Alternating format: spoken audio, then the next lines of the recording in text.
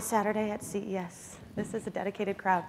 Um, I'm really excited to be talking about wearables. It is really a passion point of mine, and it's where technology integrates with um, fashion and design, and there's really interesting conversations around it. And we have a very varied group of people. We're going to talk about everything from products that are in the market to what the designers of the future are thinking about, and from mass market to concept pieces. We have a lot to cover in just 30 minutes, and I should probably ask somebody to give me a five minute notice because I can talk all day about this. So it is my pleasure to introduce the panelists. We have Jess, who's from the North Carolina University College of Textiles, Barry from PVH, Pauline, who has her own line, Pauline Van Dongen, and Ichiro from Xenoma. Thank you so much again for joining us. So I'm going to get started by talking about um, where we are in the market. I think it'd be helpful just to hear from you about your product and the brand that you're here representing. Jess? Okay, so um, I have no product. um, I'm, I'm a, actually, I do have a product.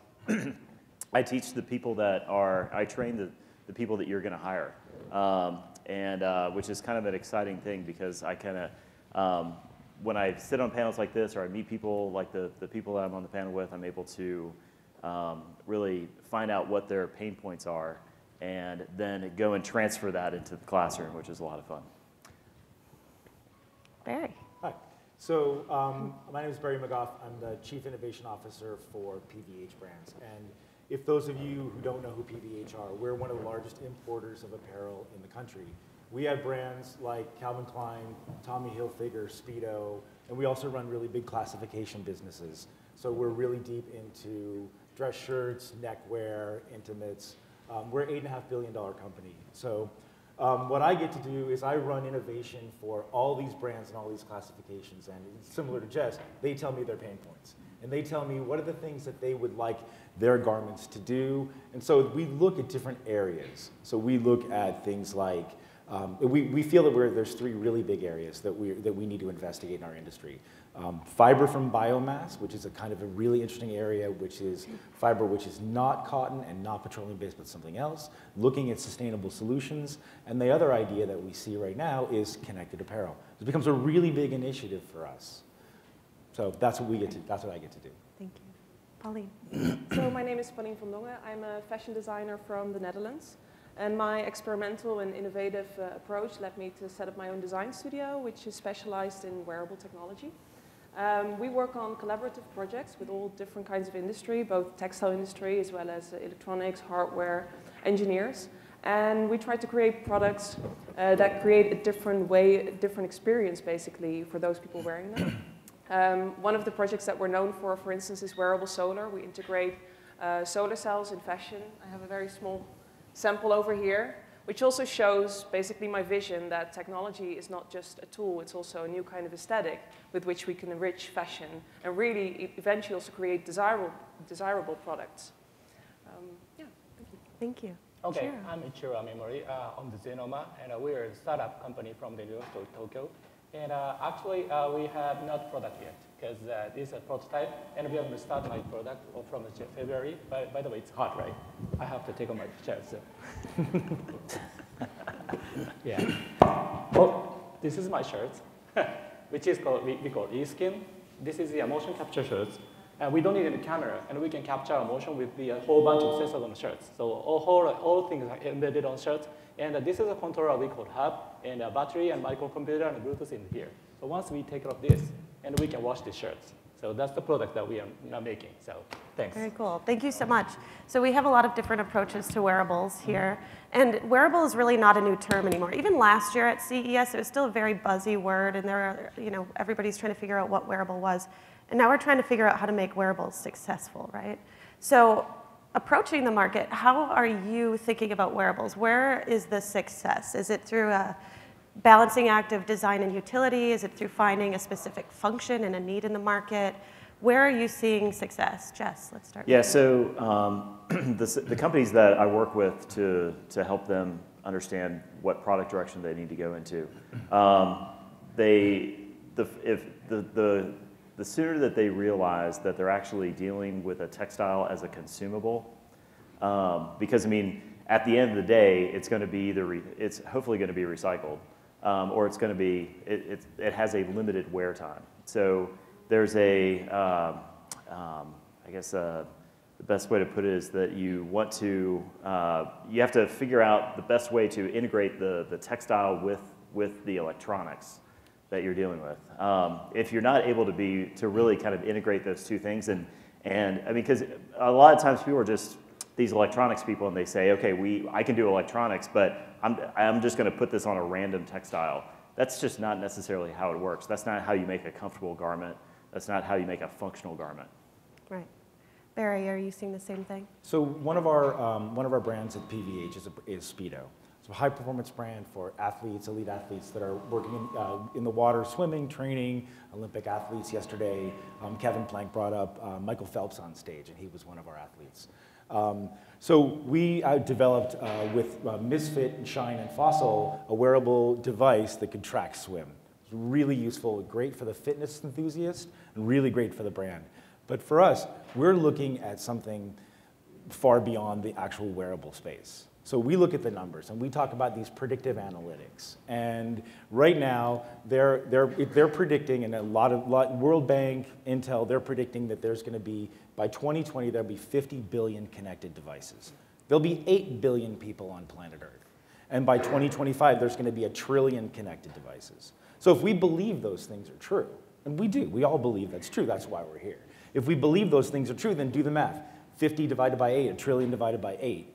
Everything is going to be talking to everything else. So we can say, oh, is the Internet of Things, the IoT, is that something, is it a myth? Is it something that we say, oh, well, we think it might come? It's going to come. And in our idea, in our parlance, we don't think that if you have 50 million, uh, 50 billion connected devices, that everything in your world is going to be smart. Smartphones, smart houses, smart cars, but the only thing that you're going to like in your, that you're going to accept in your life is dumb clothes. Why would you want smart everything and dumb clothes? So we know it's an inevitability. It's coming and it's here. So we're looking at the wearable space not just from a tech, from an item on your body that you plant on there. That's, that's the gateway drug into connected fiber. So that's, that's, that's the perspective that we take on the, on the wearable space. Well, Pauline, you can speak to that. Yeah, I, I think I totally agree. And what I'd like to add also is that those things that our clothes can bring us when it comes to smart is the fact that it can tap into like this sensitive embodied experience. Um, I think, I mean, if you look at it, we have a lot of smartness around us. We have our phones, but we can put them away. They're not connected to our, our skin. So I think those wearables that will be successful are the ones that can really tap into that emotional, sensitive experience. The um, seamless experience. Yeah, the seamless experience, definitely. And I think what's the risk at this point is that we tend to think as technology as something that only brings a certain functionality and utility. Right. But um, we should move beyond that idea of primary functionality because it's one thing if you know, a smartwatch or some wristband can track our, our steps uh, or monitor our heart rate. But beyond that, it should also do another function on another level, on an emotional level. Mm -hmm. And that's how it can integrate into our lifestyle eventually. Yeah, actually, I'm a tech guy, so but I totally agree with Pauline that uh, te te technical guy always think about the functions, right? But we always ex experience something, so it's not from the functions. And I have to say sorry that this is a wearable summit, right? But I'm always trying not to use the wearable because uh, at the booth, I explain my shirts, and then they say, oh, it's wearable shirts. But it's, it's something really weird, right? The shirts is always wearable. Always wearable. so yeah, I'm trying to always use the smart apparel. But the point is that um, actually the wearable is something like, you know, it looks very weird, but I have to overcome that barrier to, to, the, to the next world, and then we can success, I think, yeah. Well, it's interesting because we are, we all know where the future is going. The data is there, the research is being done, but we are still struggling so much. Mm -hmm. um, why do you think it's hard to innovate in the fashion space? Um, actually, um, I have an idea that actually in Japanese uh, document in the 16th century, and uh, the one uh, missionary, uh, Christian missionary came to Japan uh, with the wearing eyeglasses, where, which does not exist in Japan. And uh, at the public places, and that missionary came to the, to the place, and 5,000 people came to see the four-eye monster. so even now, right now, everybody wears eyeglasses, and we don't think it's a four-eye monster, right. right? So I think it's a kind of a culture. So we have to overcome the culture or common sense, and then we can see, think that, that this, even this kind of things can be very normal. Right. Yeah. That makes sense. Well, I think uh, it also has to do uh, with, with processes and methods and like combining different industries that are not necessarily used to work together, but also that have very different tools and machineries. So what I'm looking at uh, specifically with the projects that I do, I, I really want to move beyond that prototype stage and look at how we can create solutions that we can scale. Because how can we move from a pick and place machine in like electronics industry to a machine that does a similar kind of thing but on a textile substrate? I mean, those are the real challenges. And then making it robust enough so that it can survive all the wear and tear and, and be a lasting product. I, I think I would probably speak to ubiquity and the mundane. So I would say that right now, these are novel ideas and novel concepts that we're tapping into and experiencing and then maybe discarding. Maybe we're on the down cycle of wearables, but we're saying this is novel. But I think with, we will get to a place of ubiquity when it's not novel anymore. And maybe the, th- the, the, the apparel that we're wearing doesn't do something that's profound. Maybe it does something mundane. Yes. Yeah. And when it does something mundane but useful, then I think we're going to get to a really interesting place. So we're in the fashion industry. So I, no offense to anyone out there in the fitness space, and we have a fitness brand, we have an adrenaline coalition inside PVH, but most of the brands that we touch, you don't go to us to monitor your heart rate. You have heart rates everywhere. Your phone can monitor your heart rate. Maybe not that accurately, but it can. But if you're doing something in your apparel that's something more mundane, but maybe useful, that connects you to social, that does something useful in your life, you might do it. You might not need me to track your heart rate. But if your heart rate jumps a little bit, because I've connected you to someone in a social setting, setting right? If you're connected to Tinder or Grindr through my apparel, that's interesting. Yeah. That's fun, right? right? And that may not be profound. You're not going to sense your next heart attack with Calvin Klein shirts, but you could do something really awesome that may be connected at the fiber level. To have you enhance your life experience. That's when we're going to get to that place of universal adoption, where we'll say, it's okay, everything else in our life is smart, our scar clothes are smart too. Mm-hmm. Yeah, so uh, I think that there's a, there's a number of factors of why we're not seeing this really progress as fast as we would all want to see it progress. Um, and you know, uh, Pauline mentioned the, the first factor is, is probably within manufacturing. The, uh, um, and part of that manufacturing is the very difficult supply chain of, of garments, uh, which is typically around 18 months. Um, if you go and tell that electronics company that there's an 18 month, 18 month turnaround on an electronic device, they'll laugh you out the building. Um, the other thing is in manufacturing, a lot of the a lot of the materials that people are using don't have a really good shelf life, and so you can't have good stock of materials, and so that's to that's going to delay uh, manufacturing and supply chain procedures. Um, standards, uh, technical standards, in how you evaluate your product versus or your material versus other people's uh, or other companies, they those don't exist. And then finally, I think uh, as Barry was as Barry was mentioning, is the uh, is what value prop do you actually provide to the consumer? And I agree that you don't, uh, the inception point for ubiquitous uh, uh, tech or uh, electronics within garments is probably going to be a very mundane thing. Um, but it should be something that allows them to have this personal connection with the garment uh, or, or allow them to um, have confidence that they are wearing the right garment or that garment is performing as well as it should be, as, as, as, as it was marketed to them why they purchased it. Um, so I'm working with a company right now on integrating RFID tags to determine wash cycles on a garment. Uh, there's a lot of ways in which that can go. You could, uh, you could actually hook that up to an Amazon marketplace where you say after 40 washes, just order me a new shirt so I can replace this. And then I'm confident that the garment that I'm wearing is going to be what I want to wear. You've moved past Alexa already. Alexa is losing yeah, no, her Alexa's job. Gonna get, Alexa's going to get old pretty quick. Just kidding. Just kidding. Barry, you were, I don't yeah. have one. Anybody from Amazon here? No, I'm just kidding. Barry, do you um, see some brands that are doing some really interesting things that are having some successes already today? Yeah, absolutely. So, I mean, all of us are making inroads in this area. Right. Um, so when I think about brands that are doing interesting things, the things that we're looking at right now in, in, the, in the apparel industry and the fashion industry is we're, we want to look outside of our industry and find solutions that are coming from outside of our industry and things that might be useful back in. So when we look at this technology area, a couple of the brands that I really like right now are actually not product brands. but they're using what's happening in the digital space. So one of my favorite brands right now is Stitch Fix. So really like what they do.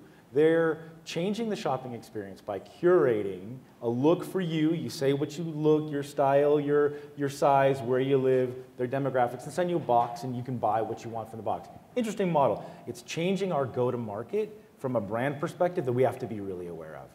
But what I really like about them and having talked to them, and Lisa Bougie, their uh, chief merchandising officer, is, is fascinating. And what she told me was why they work so well is they have a team of algorithm scientists that are writing algos in San Francisco every day to make sure that your shopping experience is exactly tailored to you. So it's one-to-one shopping experience. That's innovative in a way that is, is going to be, start to shake up our industry. If every, and this conversation about one-to-one is really, really interesting. One-to-one marketing, one-to-one shopping experience. So they're being disruptive in ways that are very interesting to us. Mm -hmm. So it's, that's not at the fiber level. I mean, there's great stuff. When, you know, when I look at people that, that inspire me on the, at, the, at the technical level, I look to the outdoor industry. Because I was at TNF, the North Face, for several years. And then they're doing great stuff in human biomechanics and, and, and human trials. But it's these disruptive ideas that are, that are mix mashing what's happening in AI, machine learning, and go to market. That's the things that they're, they're going to change our, or the way we transact in ways that we're just starting to understand now.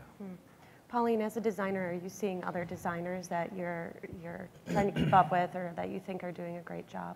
Well, there are many designers out there that are doing amazing things. Um, and of course, it varies from the more speculative pieces mm -hmm. and the more performance-based designs uh, to ones that are more you know, applicable and already more uh, towards the everyday uh, applications. Um, I like uh, several brands that are uh, exper experimenting with new materials, with color-changing materials. I mean, you were mentioning the North Face with their uh, fibers that they worked into the, the moon parka. I think, I mean, that's already a, a really a good starting point to let um, um, basically customers experience what, what garments can do for us more um, outside of, you know, the sports uh, realm uh, only. Um, and I think, I mean, uh, there's some amazing research also going on, for instance, at the MIT Media Lab when it comes to programming materials, creating new types of behaviors, thinking about materials that can, you know, open up and, and ventilate. Um, yeah, that's fascinating. Well, it's um, a good time and a hard time to be new in this space. I mean, the fashion world is really built on legacy and these like legacy brands that everybody knows. And they're having some unique problems trying to innovate because they've done certain things for a long time that have worked for them. What are some of the pros and cons that you've seen to being a new brand in this space? Um, I think, well, one of the pros for me, of course, is that um, I, can, I'm, I'm, I can easily distance myself from that system uh, and take a really fresh perspective. And I'm not really, um, you know, uh, biased to work in a very specific way. Um, so I can, you know, do things in a very, you know, different way and, and, try to push for that, even though it's not the standard, basically. Uh, and that helps me to create new things. Uh, and maybe it's a little bit naive as well, but I think that's really helpful uh, to come up with, with new ideas and also to collaborate with industries that are not commonplace within, within fashion, open up new dialogues. Um, one of the downsides, I think, um, yeah, I mean, it's, it's difficult to, to connect with the larger brands. And of course, since it's a new space, to convince them um, also of, of the, um, you know, the, the actual benefit that they can uh, find in it commercially. Because if you're one of the earlier uh, brands pushing for it, of course, there's a risk. I mean, there's, there's a lot of numbers um, uh, in, in terms of like how this market will grow, but to actually validate it, it's, it's quite hard still. Um, so yeah, they need to, um, you know, really dive into it, and not all of them are, are, willing to do so and be one of the first. Ichiro, are you yep. seeing the same thing, especially a startup? Yeah, actually, I, have been in a company for 18 years, and uh, I, I spun out from the company, and I felt that uh, I, can, I, can, I could not do the, uh, something innovative in, in a big company because they are very conservative. But I think it's fair to be, to be conservative because the big company has to save their market, right? So and, I, and, right now, I think I'm very happy to, to, to be a small to work in a small company because I can do anything that, that I like it. And so um, I actually, um, Pauline already explained about the tech side, but I, I also want to mention about the design side. So for us, on tech side, so um, I think design is very important.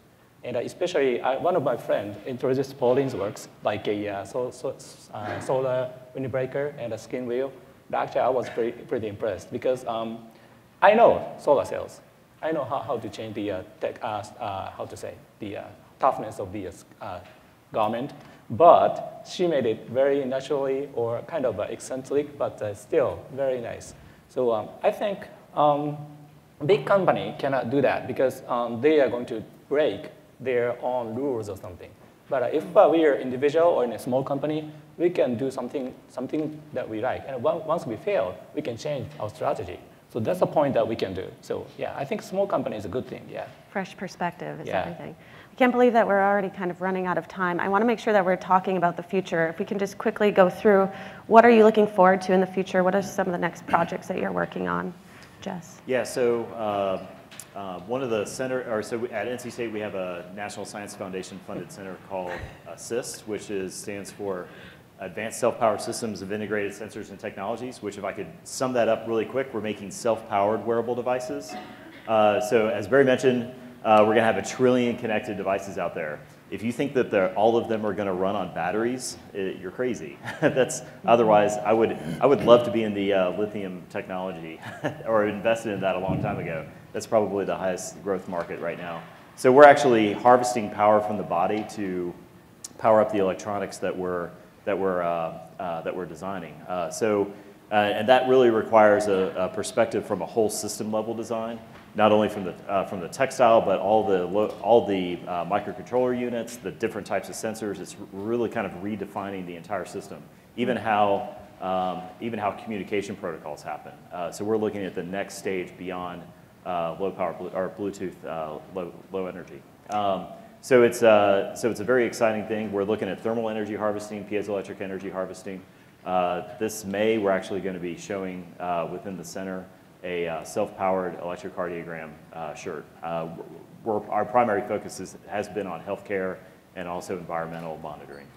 I also want to ask, what are some of the students that you're seeing? What are they thinking about since they are the future designers? Yeah, so uh, I see a lot. So I have a research group that has uh, seven PhD students and two, uh, two research associates. And I don't actually call them engineers and I don't call them text or textile designers. I call them fusion designers because they really uh, represent the multidisciplinary uh, perspective that's necessary to, um, to kind of drive this field forward. Uh, so I have people that understand not only how textiles function, but also how the electronics function at the same time. And then also they understand how to create a, or how to listen. And this is what startup companies really need to do. And, and a lot of startup companies miss. Uh, they don't know how to listen to the customer and figure out what their exact pain points are. Right. Um, and so the students that I train, they all develop value props and they all develop customer segments for everything that they develop. Hmm, Fascinating. Barry? So I'm going to jump back a, back a little bit because as you're asking these guys questions about um, what, what it's like to be a startup, what it's like to be in a small organization, I will say that the Ichiro, Ichiros and the Paulines of the world are the reason that I exist. Yeah. Because you're pushing us, and so we represent a larger organization that has established brands. Um, but every single major apparel company in this country and probably around the world are standing up innovation divisions in ways they've never done before. It's a very new area of, of industry for us because we're used to having people bring us ideas that are already fully baked and then we just adopt them into our lines. But we have to be more nimble because of what these guys are doing. They're pushing us into these other areas. So we have to be pathologically curious about what's out there. So one of the things that we're doing from an Innovation Next perspective, that's the division that I run, is that we're working with these guys. So we're actually sponsoring Pure Research at NC State through Assist. Um, and so we're looking at what's happening at the fiber level. If we want ubiquity, if we want this seamless experience, then we're going to have to go in and be part of the research. We're going to have to be part of the answer. We can't just wait around for someone to say, hey, we've got this all figured out. It's all baked in. You just pop it into your goods. We don't get a competitive advantage when we do that. When we need to compete as brands. Just as Jess is saying, you have to listen to the pain points of your end consumer. You have to listen to what they want. And just like they're doing with driverless cars, we have to look at meeting unanticipated needs.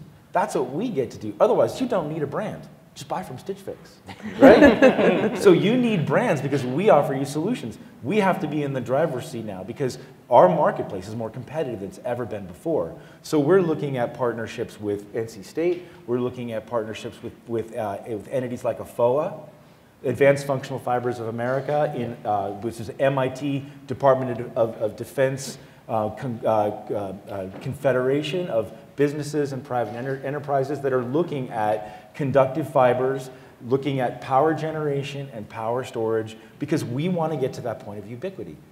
Look, I want our, our, uh, my brands to be the best brands out there and to be more competitive and better than anything you've ever seen. I can't just sit back on my heels, and we can't as PVH sit back on our heels and just wait for these solutions to come. We have to be part of those solutions. Mm-hmm. So these partnerships with startups, partnerships with Ichiro, working with designers like Pauline, investing in NC State research, that's the kind of things that we're doing to make sure that this is actually going to happen. We mm-hmm. know it's going to happen, so we get to be on the forefront of that. It's great. It's really refreshing to know that PVH is, you know, having you there, and with that perspective, I think it's really nice. Pauline. Um, well, one of the things that I'm really focusing at the moment uh, deals with one of the challenges that we, that we still have, which is that with each project that we're doing, we kind of have to um, find all the different materials and look which ones are compatible with each other. There's no standards or protocols. So once you start integrating a circuit into a design, like we have to pair up the right you know, materials, conductive materials with the right components, find the right solutions to really build them into the textile. So what I'm looking at at the moment is really trying to create that conductivity within the material. So mm-hmm. at the moment, I'm collaborating with uh, Schoeller Textiles, a, a Swiss uh, leading innovative textile manufacturer. And we're really looking at how these conductive yarns can be part of a knitted and a woven material because that can really eventually become a kind of platform in, on which we can build several types of uh, wearables for several you know, industries. And I think especially when it comes to, to knitwear, um, there we should really you know, focus on because you know, knitwear, its stretchability, the fact that it you know, can move and, and, and stretch with the body, that's where we really want to go, also with the electronics, of course, being stretchable. And then another project which also focuses on the material is actually a collaboration that I'm doing with an Italian denim manufacturer, Italdenim. Um, this is one of the small samples that we've, uh, we've made. We're weaving conductive yarns as well. And of course, the material, I mean, it's again, it's a platform. It can um, can be, you know, um, used in all different kind of designs and applications. But for this design that we're launching in uh, early February, we're really focusing on the haptic experience of our design That's to nice. really bring mm -hmm. the wearer into the present moment and try to stop for a minute instead of uh, being in our hasty, um, uh, fast uh, lives. So stay tuned for that one. cool. Chiro. She's talking, always talking about the tech side, right? but anyway, I want a tech side too. So um, actually, slides up Pauline, you want to speak to the slide? If well, I think, I mean, you, you, can run them on the background. I mean, these are some of my projects that I did. Um, well, that's a sample of the denim as well. Yeah, that's nice, yeah. Um, I like that. Solar shirt. Um, yeah, this is one of the projects that we did for the Olympics. It's a, um, it's a suit that basically uh, has a material that changes uh, its, its structure. It, uh, from a 2D surface, it becomes a 3D um, uh, air vent that basically create lifts uh, during the jump of a long jumper. It's a speculative suit, but we hope to develop it uh, further in the near future. Very cool. Okay, so um, yeah, actually what I'm doing is to make a, a printed circuit board to uh, printed circuit fabric. So uh, right now I'm doing just a motion capture, but uh, what, what we can do in the future is that we can plug in all the sensors or haptics on the fabric uh, to make it on the shirts and pants and everything. So uh, once we can have that kind of things, we can monitor our whole body, right? So which makes us to monitor the, all the vital signs like on a, on a wrist or breast or back or everywhere.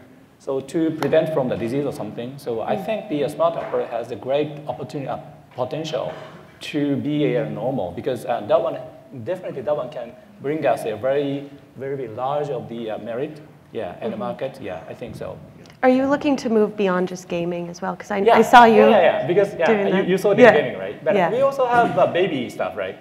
In, in, in, that, in that one, actually, we had a temperature sensor mm -hmm. and to, make, to, to measure the body temperature. And actually, that one is digital sensor. So once change that one to the something else, like a heart rate, ECG, or something like that, we can do everything. So we have a technology to make a circuit on the fabric right now, and we already plugged in the digital sensor on it. So mm. yeah, I think we can do that. Yeah, in a, in a yeah. two years or so. Yeah. It's amazing. So Jenna, the uh, one thing I'd like to just bring up is the we're also looking at, or everybody should be looking at how uh, manufacturing is going to be happening within the within the next five to ten years.